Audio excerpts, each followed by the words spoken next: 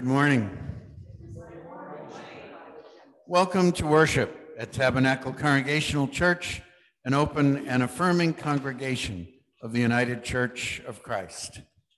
Um, so I will ask if any of you have announcements, please use the uh, microphone so folks on Zoom can hear. And if any of you on Zoom have announcements, please unmute yourself and go ahead and make the announcements.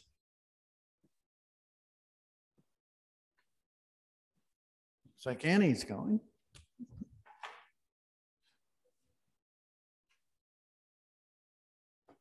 This is the third, um, I think, Sunday. So shape note singing will be today between two and four thirty. Um, I always give this message for Mike. Thanks, Annie. Anyone else? I thought at least one of the co-moderators might have an announcement. I think there's something happening next week.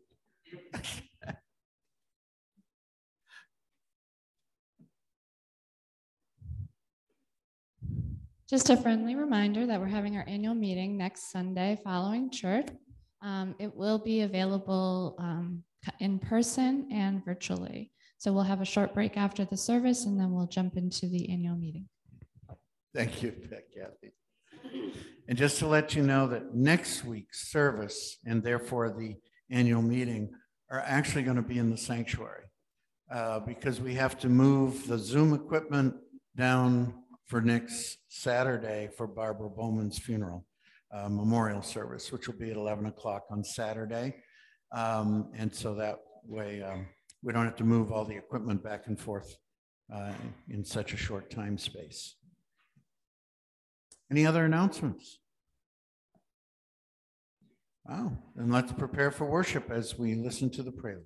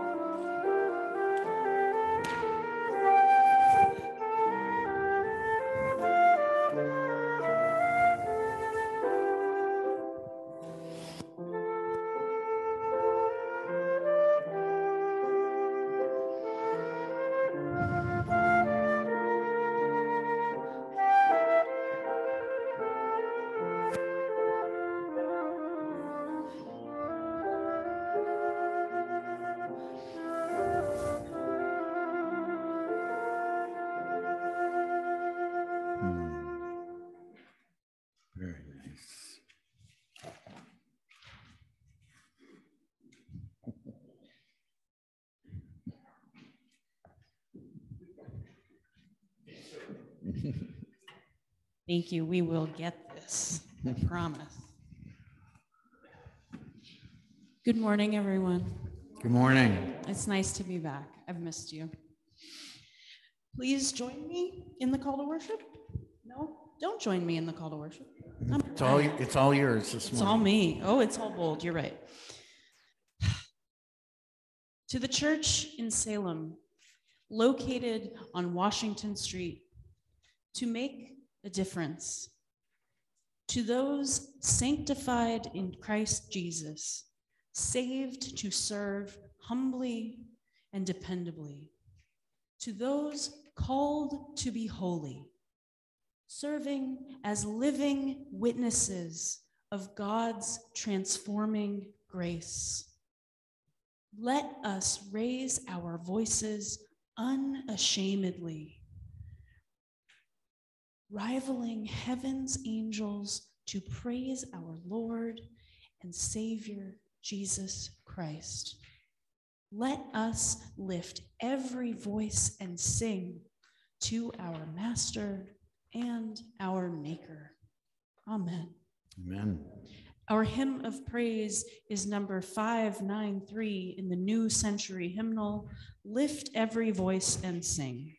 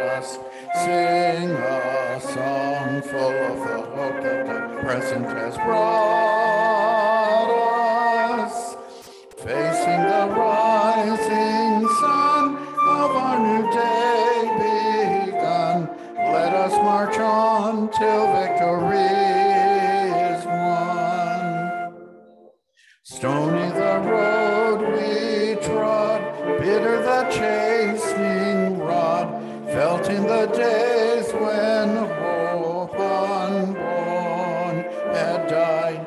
Yet with a steady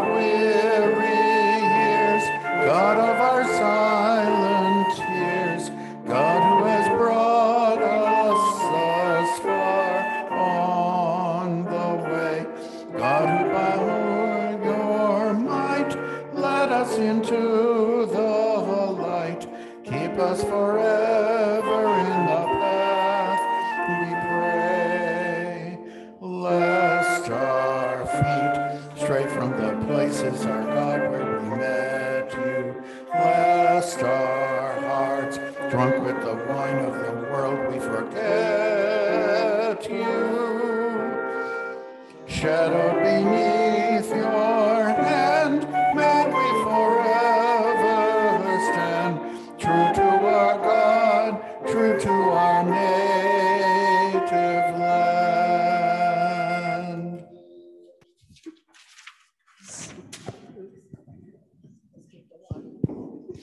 Please be seated.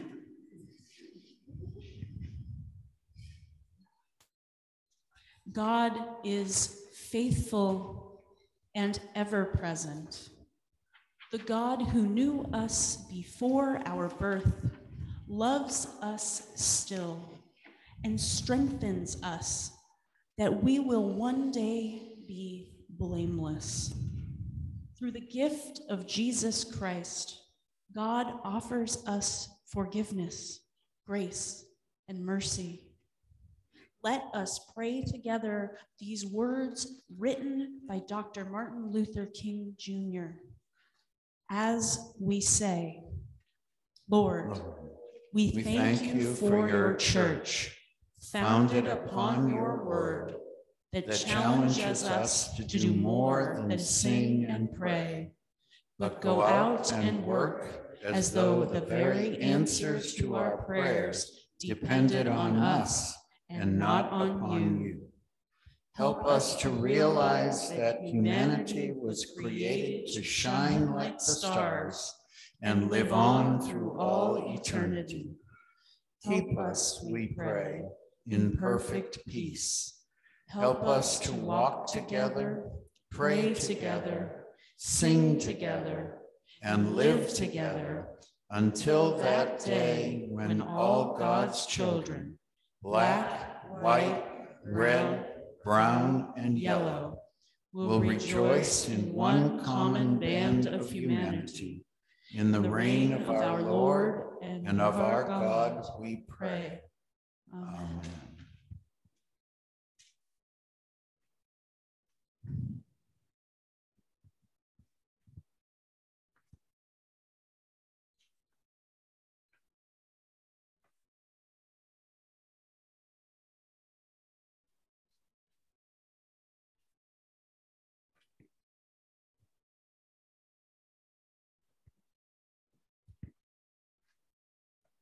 There is none like you, God in community, holy in one.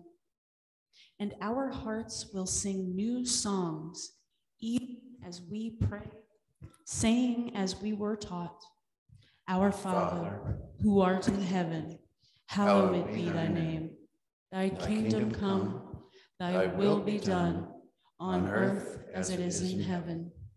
Give us this day our daily bread, and forgive us our trespasses, as we forgive those who trespass against us.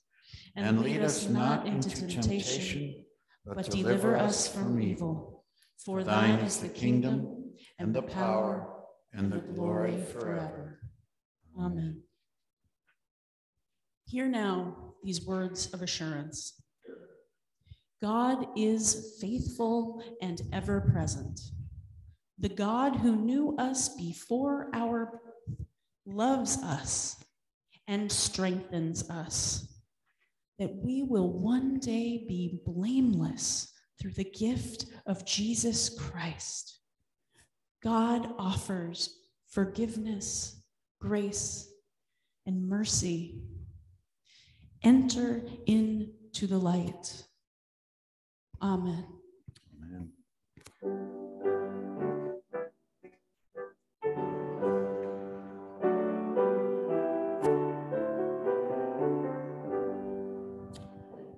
Praise God from whom all blessings flow.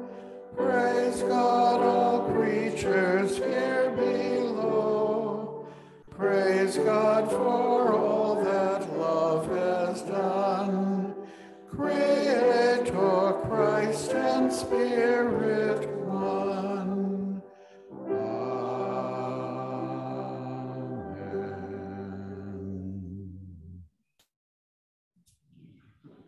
be seated. Our reading from the Hebrew Bible comes from the book of the prophet Isaiah, chapter 49, verses 1 through 7. Listen to me, O coastlands. Pay attention, you peoples from far away. The Lord called me before I was born. While I was in my mother's womb, she named me. She made my mouth like a sharp, a sharp sword in the shadow of her hand, and she hid me.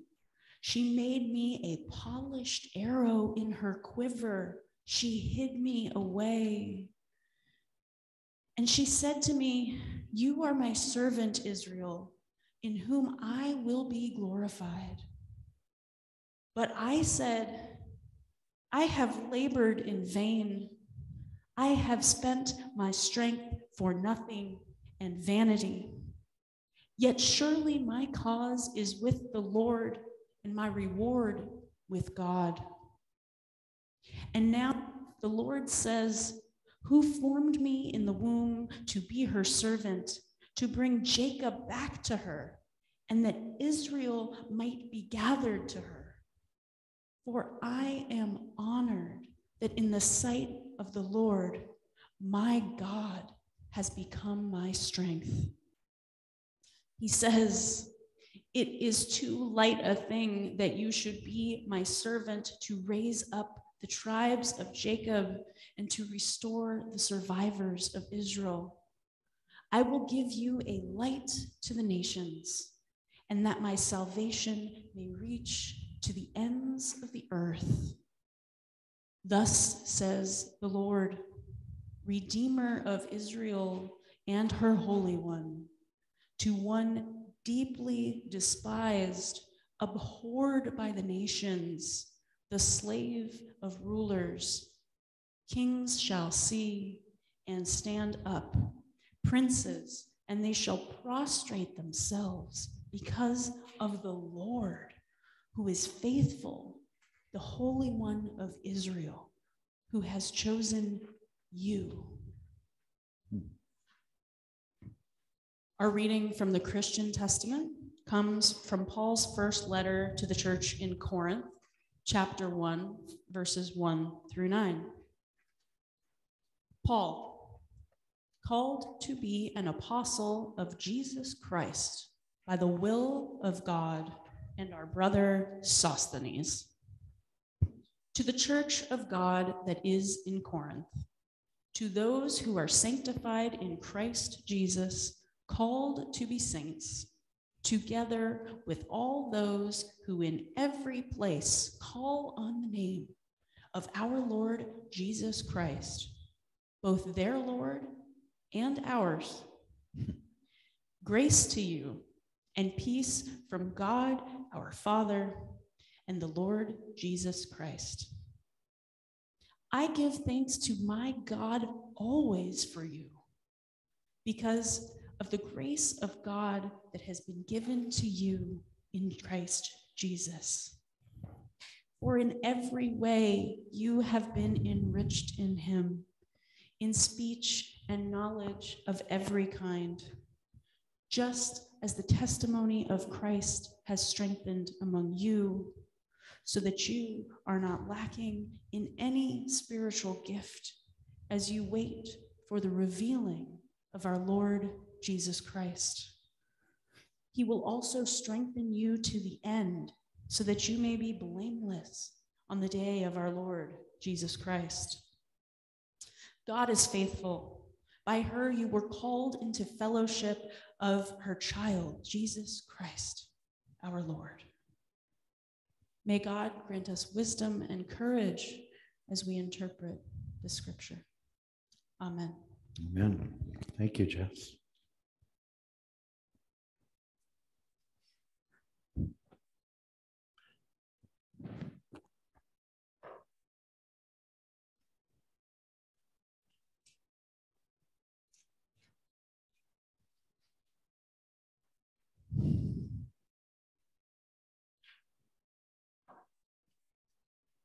And now may the words of my mouth and the meditations of all our hearts be acceptable in your sight, O God, our strength and our salvation.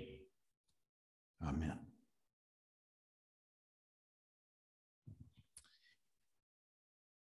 Have you ever had a case of the if only?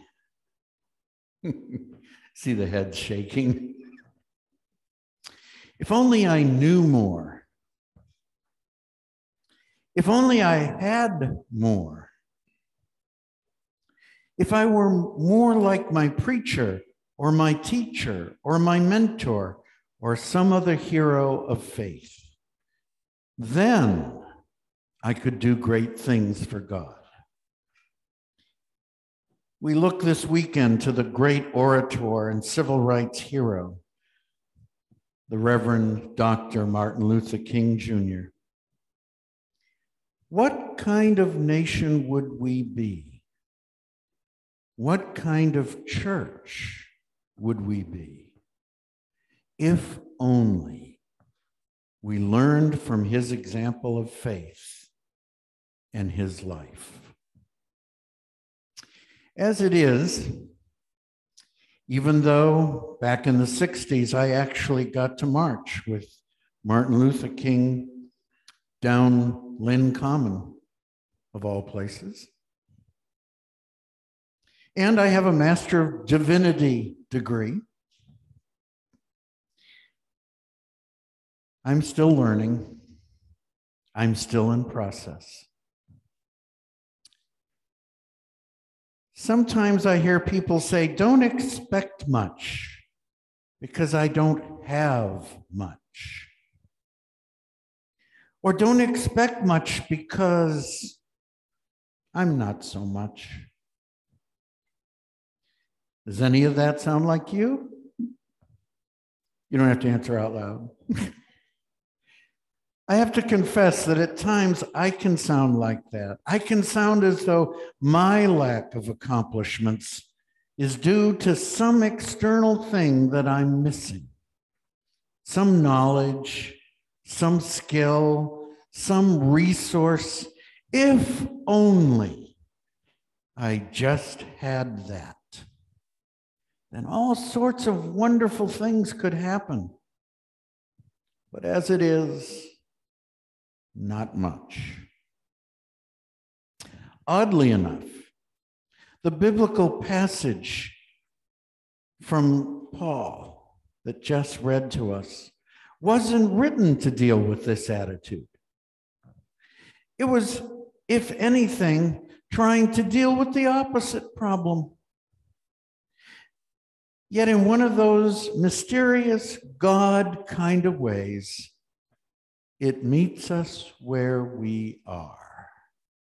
The problem in Corinth that brought about Paul's letter was not a lack of confidence. If anything, it was the opposite. There were a group of Christians in that church who considered themselves better than the average bear, I mean, believer.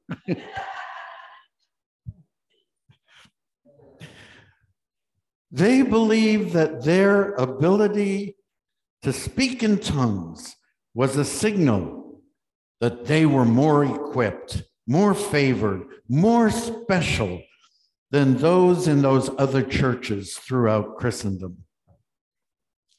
They were even of the opinion that they really had to listen to no one else but themselves. Hmm. And that is why Paul begins the letter by stressing his credentials.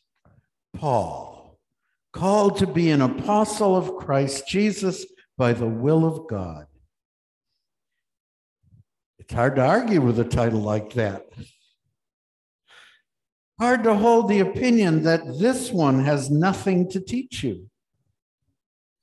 And then he also reminds them of their call, which is twofold. First, they were called to be saints. Now, you'd think that's the kind of talk that would only add to their arrogance. How many of us actually really would look forward to having saint in front of our names someday? Not many, I suspect. Yet for Paul, the word saint meant someone who recognizes the need for a savior. A saint is one who has said yes to Jesus Christ. It carried no honor except the honor of the one who called. It made no guarantee that the behavior of this person is exemplary. A saint was someone beholden to God through Jesus Christ. beholden. That's a funny word, isn't it? You don't hear that much in our speech every day these days. It conveys images of being wrapped up as well as belonging. If we're beholden to God, then it's God who shows through more than us because we are wrapped up in that presence, that light. The good things we do, the bright face that we show, is the face of God shining through us, not our own visage, which might not be so holy, at least at times. Paul was reminding the Corinthians that they belong to God and was asking them to examine their behavior to see if they still fit that description. When you become arrogant, you move the self to the center, and anything else has to make way. But if God is supposed to be the center, arrogance has no place in the community of faith. The second thing that Paul wanted to remind the Corinthians is that they were a part of something larger than themselves. He called them saints, quote, together with all those who in every place call on the name of our Lord Jesus Christ, both their Lord and ours, close quote. Jesus isn't the exclusive property of those who seek to define him in specific ways.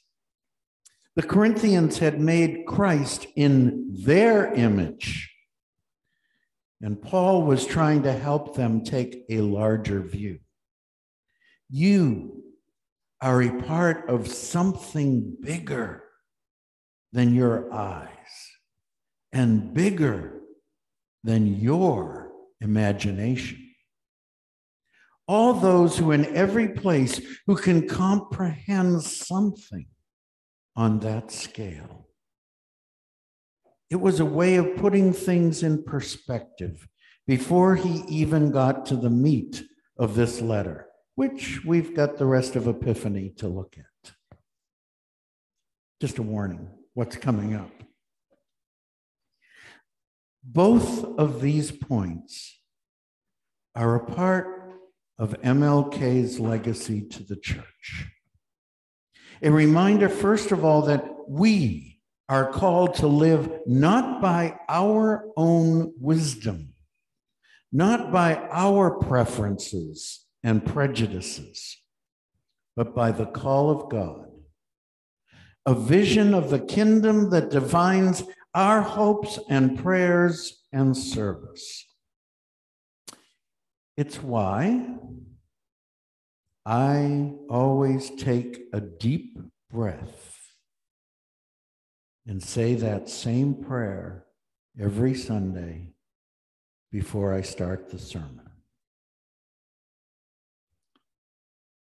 We are in this together. It's not just me or my church, my circle of friends the ones who are like me, the ones I get along with. No, our vision is always bigger, always for inclusion, always for beloved community. MLK used those words a lot. That is how we honor the memory of this event this servant of God, who became the conscience of our nation for a brief time, and it's still needed today. But the problem of the Corinthians that brought forth this letter from Paul, their arrogance seems alien to our experience. We almost laugh at the idea, don't we? Who would ever proclaim themselves super Christian. It seems to us that the very act of doing so would be evidence that there was still a lot to learn. No, our inclination is to want to step to the background or to sit on the sidelines. To us, Paul has another word. Well, he has the same word first. We too are saints. We too are part of something bigger than ourselves. But for us, it's a way to build us up and not knock us down. It's a way to encourage us.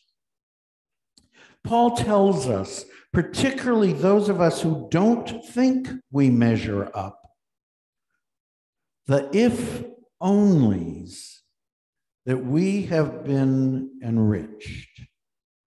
Not that we will be or could be or might be, but that we have been. Not only that, he goes on to say that we are not lacking in any spiritual gift. As we prepare for next Sunday's annual meeting, keep in mind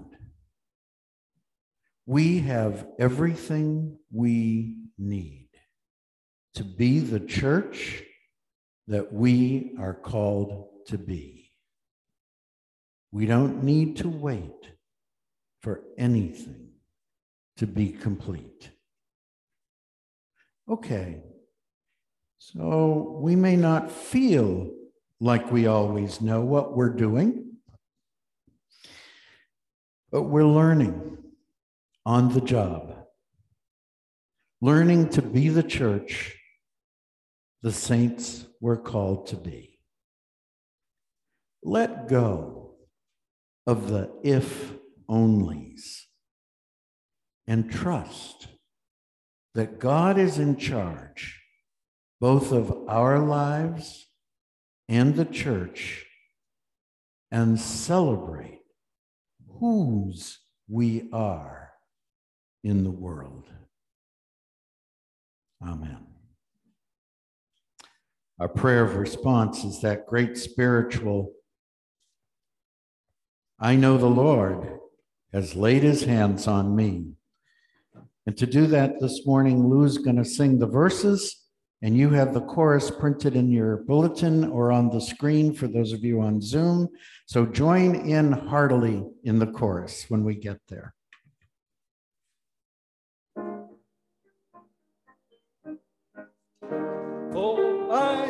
The Lord, I know the Lord, I know the Lord laid his hands on me. Oh, I know the Lord, I know the Lord, I know the Lord laid his hands on me. Did ever you see the like before? I know the Lord has laid his hands on me. King Jesus preaching to the poor. I know the Lord has laid his hands on me. Oh, I know the Lord. I know the Lord. I know the Lord has laid his hands on me. Oh, I know the Lord. I know the Lord. I know the Lord has laid his hands on me. Oh, wasn't that a happy day? I know the Lord has laid his hands on me when Jesus washed my sins away. I know the Lord has laid his hands on me. Oh, I know the Lord. I know the Lord. I know the Lord has laid his hands on me. Oh, I know the Lord. I know the Lord. I know the Lord has laid his hands on me. Some seek the Lord and don't seek him right. I know the Lord's laid his hands on me. They fool all day and pray at night. I know the Lord has laid his hands on me. Oh, I know the Lord. I know the Lord. I know the Lord has laid his hands on me. Oh, I know the Lord. I know the Lord, I know the Lord has laid his hands on me. My Lord has done just what he said. I know the Lord has laid his hands on me. He's healed the sick and raised the dead. I know the Lord has laid his hands on me. Oh, I know the Lord. I know the Lord. I know the Lord has laid his hands on me. Oh, I know the Lord. I know the Lord. I know the Lord has laid his hands on me. Thank you, Mr. Lou. Wow. Oh, beautiful.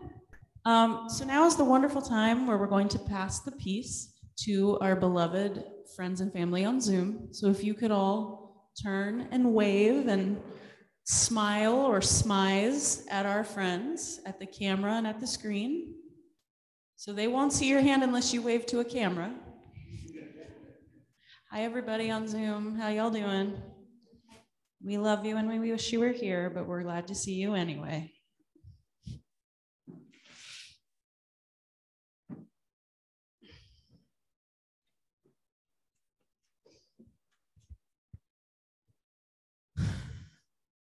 And now we go into our time of, of sharing prayers of concerns and celebrations.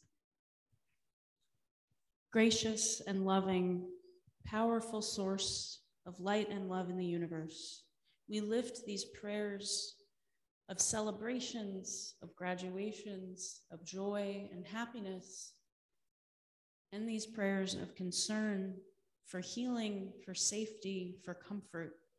We lift them all to you because we know that you can catch them all.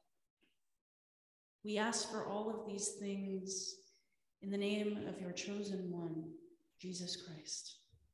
Amen. And our hymn of sending forth is God, may your justice roll down. The words are printed in your bulletin or on the screen if you're joining us from Zoom.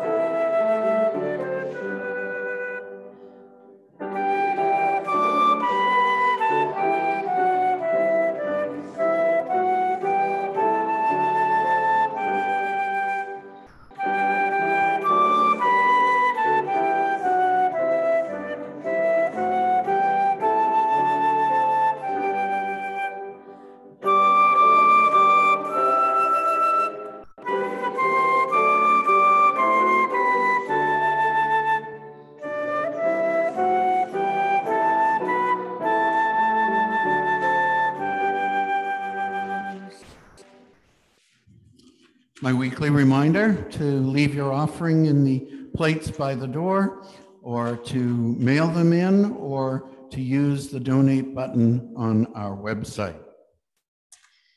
Let us go from here today secure in the knowledge that we are not lacking in any spiritual gift.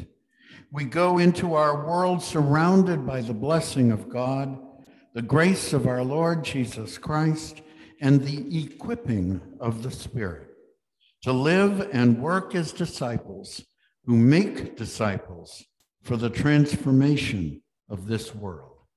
Amen.